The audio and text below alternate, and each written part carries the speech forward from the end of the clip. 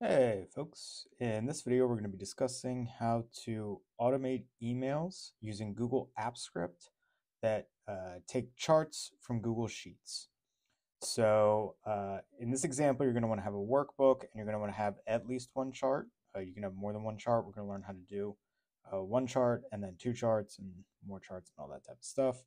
Uh, and once you have that set up, we're going to learn how to write a three file script that collects the charts from the Google Sheet, uh, then produces an HTML template so that you can send an email. So the end result is going to show you the basics of uh, taking charts from Google Sheets and then populating them into an email like this. So with that out of the way, open up a workbook. If you don't have one, pause the video and produce it. Uh, but you're going to want to have a data set in Google Sheets with a chart. Uh, the one caveat is that you cannot use a combo chart. So a combo chart is where you have uh, values on two axes. Uh, I'm going to be recording a follow-up video that shows you how to build those, but for whatever reason, I don't know why, you cannot uh, use this method I'm going to show you with combo charts. So if you do need a solution for combo charts, check out my channel. I'm going to have a video up shortly after this one. So with that out of the way, uh, if you're in Sheets, go to the Extensions menu, open up AppScript.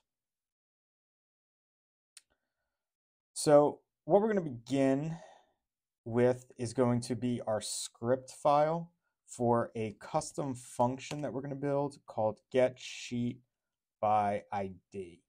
Uh, you don't have to put this into a function. I think it's a wise decision. That way you can use it over and over again and uh, your code will be more readable. And uh, yeah. So what we're going to do is write the word function, call it get sheet ID. You can call it whatever you want to. Uh, this function is going to have a single argument, and it's going to be a sheet ID.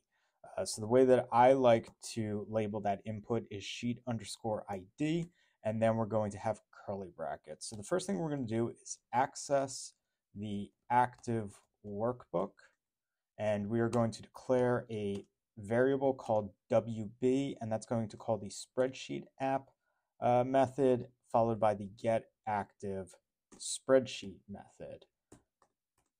After that, we are going to access all the sheets in the workbook. So we're going to put that into a var called sheets. We're going to call that workbook variable that we just created and we're going to use the get sheets method. Next, we are going to loop through the sheets, and we're going to use a for loop. So we're going to do for with a parentheses, and then we're going to create an, a variable called i, uh, which I use as iterator. So we're going to say for i in sheets, and then we're going to use curly brackets, and we're going to set a conditional to evaluate the sheet ID input. So when I say sheet ID input, I mean this argument up here. So the way you're going to use this function is you're going to pass in a sheet ID. The reason that I like to do this is because uh, Google Sheets and Google Apps Script do not have a native get sheet by ID function. What it allows you to do is get the sheet by its name. The problem with using the name is that if you give this workbook to someone else, they might change the name of the of the Google Sheets uh, tab that you're pulling data from. And if that happens, then this script is going to break. So the way to get around that is by referencing the sheet ID so that you have a solid foundation with which to develop. So what's going to happen is, is we are going to access the sheets variable that we created on line seven, and we're going to loop through each of them by evaluating their ID against the ID that we're looking to pull in. So the way that this logic is going to work is we're going to use an if statement, and we're going to say if sheets iterator dot get sheet ID uh, is equal, sorry, we got a messed up parentheses there. Make sure you have two parentheses after sheet ID. If it's equal to sheet underscore ID in the same way that our input is set, then we will allow it to do something. And the thing that we're going to allow it to do is um, be called in a variable called sheet name. and we're going to have that set to sheets iterator dot get sheet name. So this is going to give us a dynamic way to identify what the sheet name is based upon the ID that we want to pull in. So if the name does change, then it won't change anything. So now we can access the sheet in a stable manner, and we are going to return wb.get sheet by name, and we are going to pass in the sheet name variable that is being determined based upon the sheet ID. If you want to learn more about this, I have a couple other videos. I use this method throughout my scripting. It's a personal preference of mine, and it's something that I recommend everybody do. We're going to go back to our code file now. Uh, so I, I cleared out my boilerplate already. You can keep it if you want to. Uh, so you're going to want to have a function here. I'm going to call my main. You can call it, right now it might say my function. That's the boilerplate that you get with the code.gs file. That's totally fine. These names are all relative. It doesn't really matter. We're going to do curly brackets. We're going to hit enter. And what we're going to do now is we're going to collect the charts from the sheet. So we're going to declare a variable called chart, and we're going to set it to, uh, we're going to use that get sheet by ID function that we just built. Um, you, you don't have to use get sheet by ID. You can use a variable in here if you want to and just take the code that we just wrote and keep building this out, I'd recommend using the get sheet by ID function. So the ID that you pass in here is going to be whatever your identification number is in your URL. If you're using sheet one, it's highly likely that it is going to be zero. Um, there are some circumstances where it might not be zero, but if you are using a Google Sheet within a Google Drive folder and you create a new workbook, it is going to be a zero for sheet one. But if, if it's not, so for example, here, if I create sheet two, you would just grab this identification number up here. It's wherever your charts are that you want to put into an email. Go there, grab the ID after GID equals sign. So because mine is zero, I'm going to pass in zero. Then I'm going to use the dot method and activate the get charts method. And then I'm going to have an empty parentheses there. So when you go into get charts, the documentation is going to show you how to use it. It's recommending that you loop through the charts. We're not going to do that. We're just going to statically reference it using um, the access point. So I'm going to do zero because I have only one chart at the moment. Uh, the way that AppScript works is uh, it's zero indexed. So one is zero, two is one basically instead of starting at one, it starts at zero. So the first value is going to be zero. We're going to do get as, and then we are going to return an image slash PNG file. You can use any of these. You can see that there's plenty of options. I decide to do PNG because that's just what I use. Um, after we do that, we are going to connect to the HTML template. But before we can connect to the HTML template, we actually need to have an HTML template. So we're going to go up here and we're going to add a file and it's going to be an HTML file. I like to just call it email. It's not a good name, frankly. So you can call this whatever you want to, but just for sake of ease, I'm going to use the word email up there.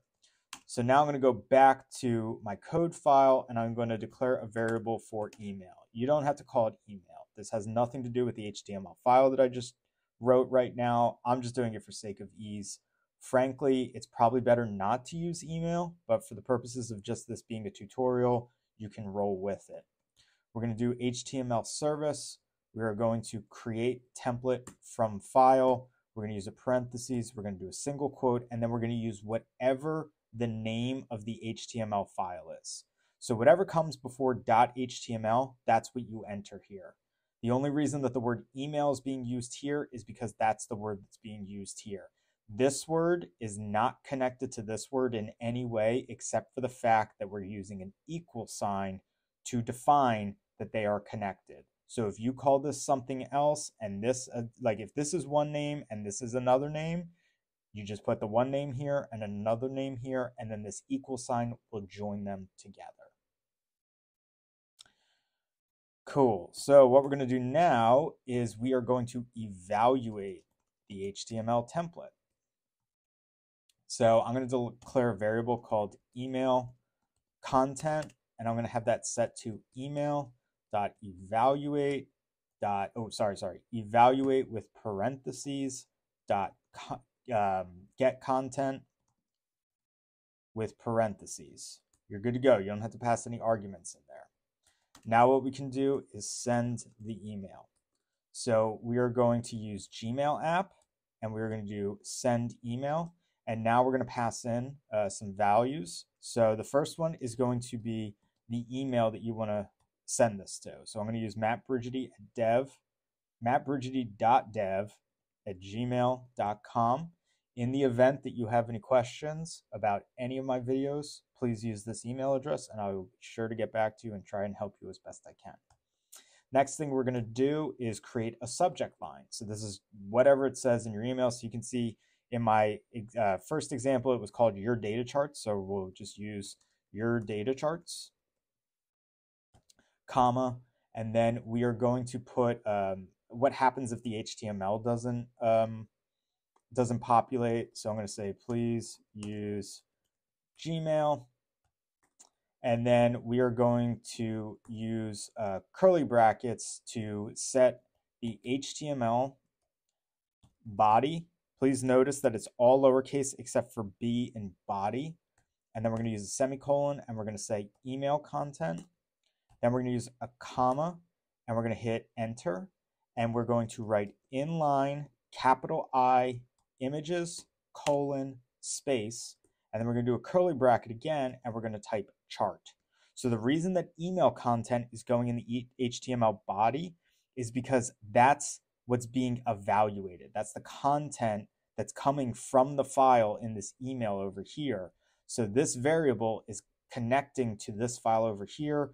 This variable is getting the content of that file. And then this line of code here is what's pushing that when we send our email. The reason that chart is being used is because that's the name of the variable that contains the image of the chart that we want to put into our email. Cool. So we're going to save our project. I just realized that our script doesn't have a name. My apologies. We're going to call this email charts. You can call it whatever you want to. So if this is an actual project you're working on, give it a name so that you can remember what it is. Now we're going to go to our email file so that we can uh, write some HTML. So this is going to be really basic. We're, we're not designing anything here. We're just seeing what the code is to literally get an image into a uh, an email.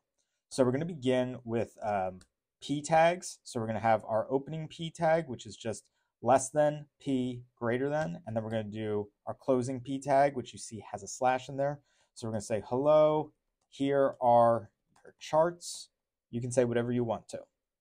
Next, we're going to use an IMG tag, and then we're going to type source, src, is equal to, and then we're going to do single quotes, and we're going to say CID, and then chart. The reason that we're using chart is because that's the name of the variable in our code file. Then we're going to add in uh, the closing of that tag. We're going to hit save, going to cross our fingers, and we're going to hit run. We're going to have to give approval so that AppScript can read, write, and delete from our email. So we're going to click on advanced here, go to email charts, you know, all this type of stuff, hit allow. Hopefully we're going to get an email in a moment. Great. So what we're going to do now is we're going to delete that old email. I'm going to remove my security alert. And this is a good sign, right? I have an email from myself that says your data charts. Hello, here are your charts. And now we're getting a pie chart in there, which is great, right? This is exactly what's existing in our Google Sheet. So this is wonderful. But what might happen is you might have more than one chart on a sheet tab, right? So what we're going to do now is we're going to create a pie chart, or sorry, not pie chart. We're going to create a column chart. So I'm just going to go over to chart here, and we're going to get another pie chart, and then I'm just going to go up here and really quickly change it to uh, a um, a column chart, sorry. Uh, so we're going to go over here. Now, what ends up happening is you have zero, which is one. Now that we have two charts, I'm going to change this to the number one. I'm going to hit save. And when I run this, what I'm going to expect is that my script is going to go from showing me this pie chart to my new email is going to have the bar chart. And the reason for that is because this is one, which again, in a zero index is zero. And this was the second chart we created, which is one. So in the event that you want to have more than one chart in your, your script file, all you have to do is just copy paste it like this, change the name. This is the simplest way to do it. I'm not saying this is how you should do it, but like all you have to do is just create a new variable, change the 0 to a 1 to represent the second chart that you've created on your page, go down to your inline images, change it to chart 2, go to your HTML file, and then just for the sake of ease, I'm just going to copy all of this. I'm going to paste it. Instead of saying hello, here are your charts, I'm going to say hello, here is your second chart. And I'm going to change this chart ID here to chart 2.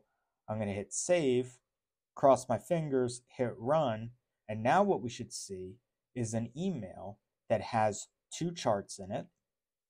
The first being our pie, the second being our bar. Cool. So this is a basic lesson on how to collect charts from Google Sheets and send them via AppScript. Um, in the event that you want to send an automated message, all you have to do is just go to the, the triggers uh, tab and add in a, a time driven trigger. And then you could do an hour, a day, a week, a month, whatever. And you can just start sending reports on a regular basis. Like I said, this will work for um, bar charts, pie charts, all the other charts. But if you wanted to use uh, a combo chart like these, I believe, that have more than one axis on them, it will not work. Please check out my channel for a follow-up video that will provide that solution. But in the meantime, please hit up the comments if there's anything I overlooked or if you have any questions. Uh, my email is uh, in my About section, and it's also in this code file in here. I love hearing from all of you. So, uh, yeah, I hope you enjoyed this one, and hopefully, I'll see you in the next one.